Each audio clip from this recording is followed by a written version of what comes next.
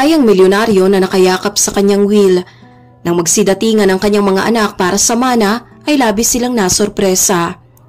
Si Donna Carmen, isang mataas na figura sa mga elites ng kanilang syudad, ay laging nadidismaya sa inuugali ng kanyang mga anak may kinalaman sa kanilang mamanahin. Hindi lamang mayaman si Donna, ang kanyang buhay ay nalilinya sa ilang misteryo at trahedya.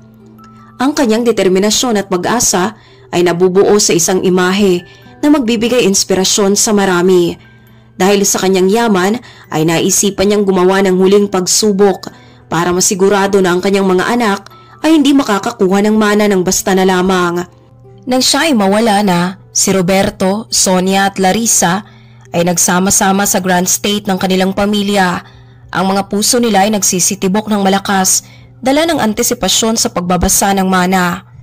Sa magara at tahimik na mansyon ay nabuo ang atmosfera ng tensyon at ang bawat haligi nito ay napupuno ng alaala sa ligasiya ng kanilang pamilya na labis nagpapahalaga sa integridad higit sa lahat.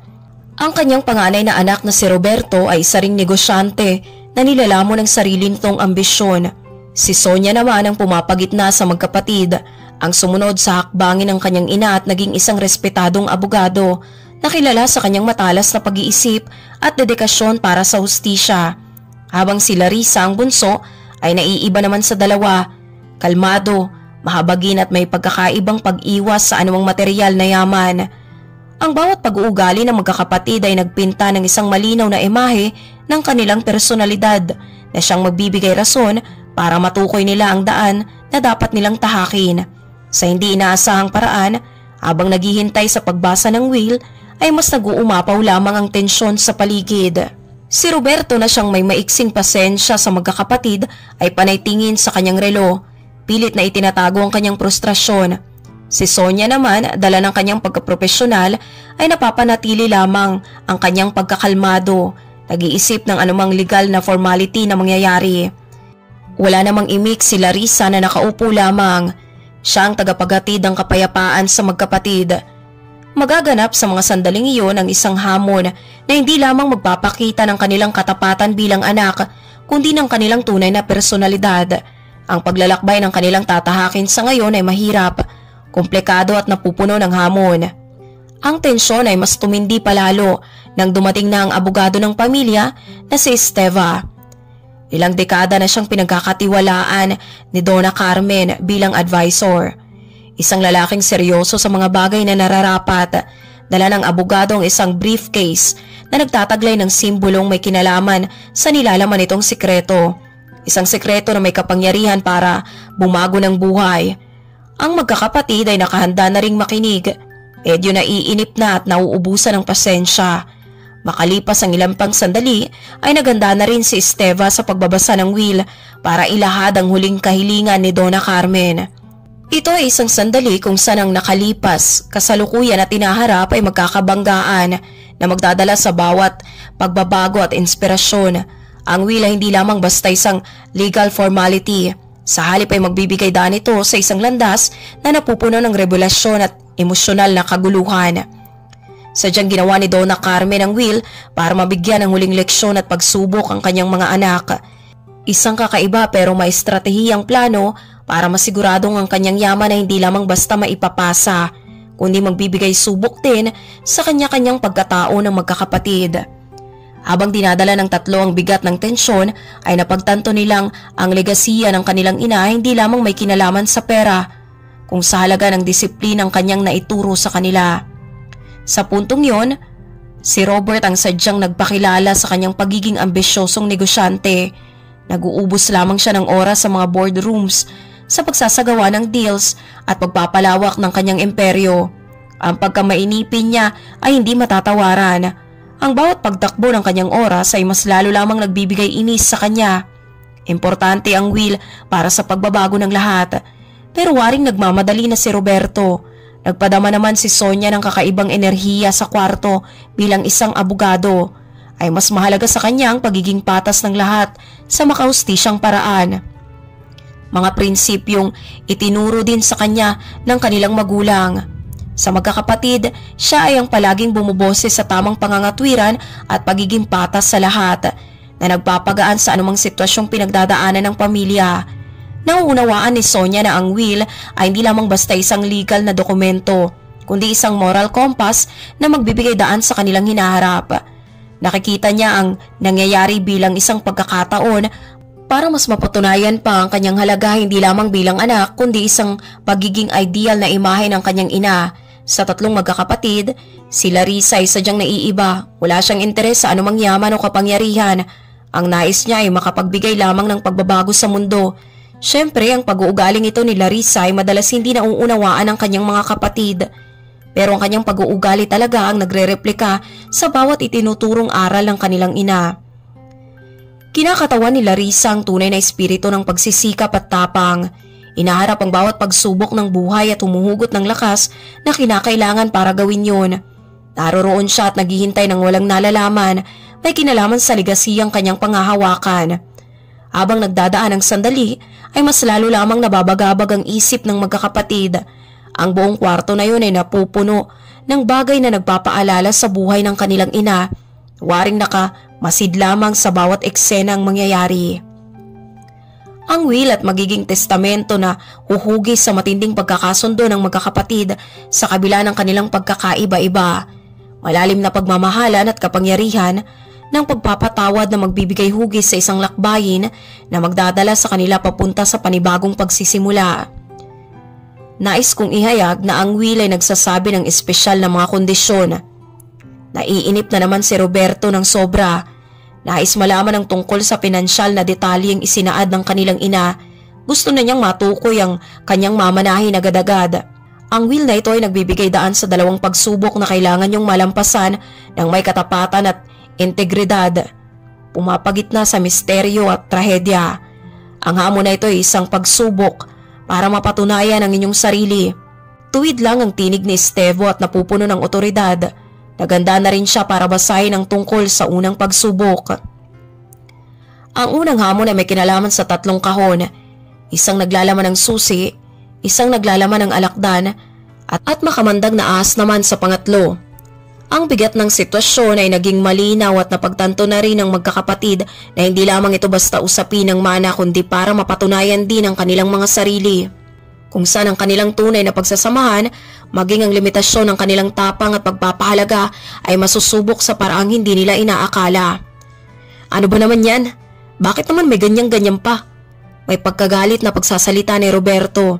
Wala siyang ibang gustong gawin kundi makuha na lamang ang kanyang mamanahin para sa pansarili niyang kapakinabangan. Si Sonia naman ay may talinong inaaral lamang ang sitwasyon, lalo tabang nagtatagal ay mas lumilinaw lamang ang sitwasyon para sa kanya ang hamon na kinakailangan nilang kaharapin ng magkakapatid. Ang bawat isa sa tatlo ay nagkaroon ng iba't ibang reaksyon tungkol sa tatlong kahong inilapag sa kanilang harapan. Sa mga pagsubok na ito ay masusubok ang tunay na personalidad ng bawat isa sa kanila sa paraang hindi nila maitatanggi. Sadyang nakadesenyo ito ang nilalaman ng will para sagadin ang kanilang limitasyon. Makinig kayo. Wala kayong magagawa kundi ang makinig dahil kasama ito sa proseso. Ang tatlong kahon ay nagre-representa ng magkakaibang tadhana, isang pagsubok na susukat sa tapang at integridad niyong tinataglay. Ang isa sa kahon ay naglalaman ng susi na sumisimbolo sa proseso ng pag-usap, habang ang dalawa naman ay nagtataglay ng panganib. Sa pamagitan ng isang makamandag na alakdan at ahas, maging si Stebo ay nakikita ang pagiging komplikado ng pagsubok pero kailangan niya magtiwala sa babaeng kilala niyang nagtataglay ng tuwid na pagdedesisyon at pangangatwiran. Hindi siya umalis para iwan ang magkakapatid. Sinabing tatawag na lamang siya sa mga oras na maihanda na ang lahat. Nainis naman ang sobra si Roberto, habang si Sonia ay nananatili lamang na seryoso. Sinusubukang maisaisip at maunawaan ang lahat nang sa gayon ay makapaghanda siya sa anumang kinakailangan nilang gawin. Si Larissa naman dala ng kanyang pagkakumpiyansa sa sitwasyon ay buong tapang na nakahanda sa hamon na darating. Para sa kanya ay oportunidad ito para mapatunayan ang mga aral na, eh, na ituro sa kanya ng kanyang ina. Alam niya na ang tunay na tapang ay nagmula sa kalooban ng isang tao. Habang ang dalawa ay nag-iisip at nagtatalo ay inihanda na ni Larissa ang kanyang sarili maging ang kanyang emosyon at pag-iisip para sa anumang kakahinat na ng lahat. Malinaw kay Larissa na ang nais ipahiwatig ng kanyang ina kahit palabis na itong ikinababagabag ng kanyang mga kapatid. Pero ang dalawa ay naganda na rin at ang tatlo ay ganap nang ang naging handa sa unang pagsubok. Ang tensyon ay hindi maiiwasan. Taglay nito ang bigat ng kanilang gagawing pagdedesisyon. Ang tunay na hamon at pagsubok ay magsisimula na. At si Roberto naman, dala ng kanyang pagiging ganid, ay nag-isip na ng paraan para mauna muna. Pero nangangamba pa rin ang pag-iisip sa kung ano man ang mangyayari.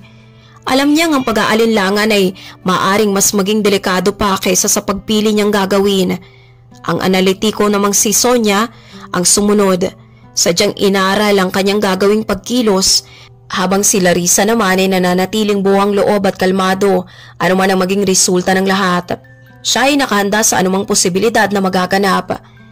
Ang tatlo ay ganap nang nagsimula sa unang pagsubok na ginawa ng kanilang ina dahil naman sa pagnanais ni Roberto na makontrol ang sitwasyon at pagkainteres sa mana, ay nagsimula ng bumulong at makipagsabwatan kay Sonia. Nagsimula ng pag-uusap ang magkapatid na manipulahin ang kalalabasan ng pagsubok para masiguradong magkamali si Larissa. Nang sa gayon ay malaki ang kanilang mapaghatian sa mana kung sakali. Ang planong yun ng panlilinlang ay sadyang makakaapekto sa mangyayari pag nagkataon. Si Sonia dala ng pagkaitikal na prinsipyo at pagnanais din sa mana ay naging sang-ayon na rin sa kanyang kuya. Dito na nagsimula ang kanilang sikretong pakikipagkonversasyon sa isa't isa at pasikretong pagpapalitan ng tingin kung kinakailangan na napagsimula ng pagtataksil na maglilimita sa tunay at dapat nilang tapat na pagsasamahan bilang pagkapatid. Nagplano na si Roberto na manipulahin ang mangyayari habang si Sonia ay nag-iisip ng estratehiyang kinakailangan. Sa simula pa lang ay pinapakita na ng dalawang tunay nilang pagkatao na nagsisiwalat sa mga bagay na kaya nilang gawin para makamit lang ang kanilang hangarin. Napapansin na ni Larissa ang kakaiba sa kanyang mga kapatid. Alam niyang may mali sa ikinikilos na ginagawa nila na hindi niya matukoy. Labi siyang nagdududa sa hindi malamang kadahilanan. Pero nananatili pa rin siyang nakatuon sa pagpaparangal sa legasiya ng kanyang ina. Si Roberto at Sonia ay gumagawa ng paraan para masarili nila ang kabuuan ng mana Naniniwala silang mas magandang dalawa na lang silang maghati kaysa makihati pa ang bunso nilang kapatid. Ang hamon ay nakalatag na sa tatlo na susubok sa tunay nilang pagpapahalaga sa isa't isa at pagiging totoo sa kanilang pagsasamahan. Ang hamon ay nakahanda na rin para sa magkakapatid na siyang magbibigay bukas sa panibagong buhay ng lahat sa kanila. Si Babio ang malapit na kaibigan ng kanilang ina ay napapansin ng inuugali ni Roberto at Sonia laban kay Larissa kaya naman nagawa niya silang obserbahan. Matagal na siyang tapat na kaibigan ni Donna Carmen. At ang kanyang makahustisyang pag-iisip ang nagpumilit sa kanya na umakto. Kapansin-pansin na ang masamang binabalak ng dalawa sa magkakapatid. Madalas silang magkita at mag-usap sa tagong lugar at nagpapakita na sila ng kakaibang pagkilos sa bunso nilang kapatid na si Larissa. Nagdesisyon si Babio na kumilos sa sarili niyang paraan wala siyang ibang nais kundi ang maprotektahan ang magandang legasiya ng kanyang pumanaw na kaibigan. Nais niyang maging patas ang magkakapatid sa anumang hamong kakaharapin nila hanggang sa malaman na niya sa kanyang investigasyon ang panlilinlang na ginagawa ni na Roberto at Sonia. Nagawa niya ito gamit ang ilang hidden cameras at mic na naging ebidensya sa masamang plano ng dalawa. Nasiwalat ang kanilang sekreto sa mga ebidensyang yon na hindi kailanman maitatanggi Agad na isiniwalat ni Bobby ang kanyang nalaman kay Stebo na siyang abogado ng pamilya. Ngayon ay mas naunawaan ni Stebo ang bigat ng sitwasyon at naisipahiwatig ni Donna sa kasulatan. Kaya naman, siya at si Babio ay nag-isip ng plano para mabulgar ang sekretong plano ng dalawa nang hindi nila inaasahan para na rin mapanatili ang integridad ng naiwang will ng mapayapa nilang kaibigan. Sa punto ng araw kung saan naharap na ang magkakapatid sa hamon ay nahihanda na ang lahat. Magkasama namang humarap si Babio at Stevo sa magkakapatid. Bago naman magsimula ang lahat ay nagsalita na muna si Stevo ng may otoridad para kunin ang atensyon ng mga tagapagmana. Isinawalat niya sa punto pa lang na yon ang sekretong itinatago ni Robert at Sonia. Natigilan naman ang dalawa sa kanilang nadinig. Agad silang nagkatingin at waring nataranta. Si Larissa naman ay napaatras. Hindi niya kailanman inaakala na hahayaan siya ng kanyang mga kapatid na mapahamak. Nakasakit ang kaalamang yon ng malalim sa kanyang puso pero naginhawaan na rin siya nang ito'y agad niyang malaman. Maaring hindi ko nabanggit sa inyo pero kasama sa hamon ang mahigpit na kaparusahan sa inyong nagawa bilang ikalawang patakaran sa will. At ito ay ang pag-aalis ng pangalan niyo Roberto at Sonia Samana. Nang dahil sa ginawa niyo ayon sa will ay wala kayong mamanahin na kahit ano. Sinira niyo ang aral at integridad at katapatang naisipaywatig ng inyong ina. Ngayon ay naging malinaw na rin sa amin ang inyong personalidad. Kaya nais kong ihayag ngayon na ang magmamana sa lahat ng accounts at assets ni Donna Carmen ay walang iba kundi ang bunso niyang si Larissa. Ang siyang natatanging nagpahalaga sa ligasiya at naiturong aral ng inyong ina. Kaya siya ay nararapat na maging tagapagmana ayon sa kasulatan. Masaya si Larissa pero labis siyang nasaktan sa nasira nilang pagsasamahan ng magkakapatid nang dahil lamang sa labis sa pagkaganid sa yaman. Nagawang harapin ni na Robert at Sonia ang kinahinatnan ng kanilang aksyon. Naunawaan din nila ang lalim ng ginawa nilang pagkakamali at sakit na kanilang naidulot. Naiatang naman ngayon sa balikat ni Larissa ang malaking responsibilidad ng kanilang pamilya. Maraming naging pagbabago sa kanila bunga ng pangyayari. Si Sonia at Roberto ay nagpatuloy na lamang sa buhay sa kabila ng pagkakaalis nila sa mana. Hindi naman sila makakatanggi sa tindi ng ebidensyang inilabas ng kanilang abogado. Naging malalim ang pagkatuto ni Roberto sa kanyang nagawa. Sa kabila ng kanyang naging tagumpay, ay nagawa pa rin niyang maging ganid ng sobra. Napagtanto niyang tuluyan na nga siyang naibabawan ng kanyang mataas na ambisyon. Si Sonia gaya ng kanyang kuya ay nawala na sa tama at patas na ustisya bilang abogado sa pagnanais pa na yumaman. Si Larissa naman ay hindi lamang ginamit ang kanyang namana sa pansarili niyang interes, sa halip ay ginamit ito para mapag-isa at gawing solido ang kanilang pamilya. Alam niya na ikasisiyan ng kanyang ina kung magkakasama-sama silang magkakapatid, maging anuman ang mangyari. Ang iniatang kay Larissa na responsibilidad ay hindi lamang para mapanghawakan ang negosyo at yaman ng pamilya, kundi para ayusin ang anumang nasira at hindi pagkakaunawaan nilang magkakapatid. Ang kanyang pagmamahal, determinasyon at pag-asa, ang kanyang naging bagay para mapaghilom at mabuo ang naging lamat sa kanilang pagsasamahan. Nakasuporta naman din sa kanyang desisyon sina Babio at Stevo. Makalipas ang ilang araw ay mas naging malalim pa ang kaunawaan ni na Roberto at Sonia sa kanilang nagawa. Alam nila na obligasyon nilang makabawi, maitama ang kanilang pagkakamali.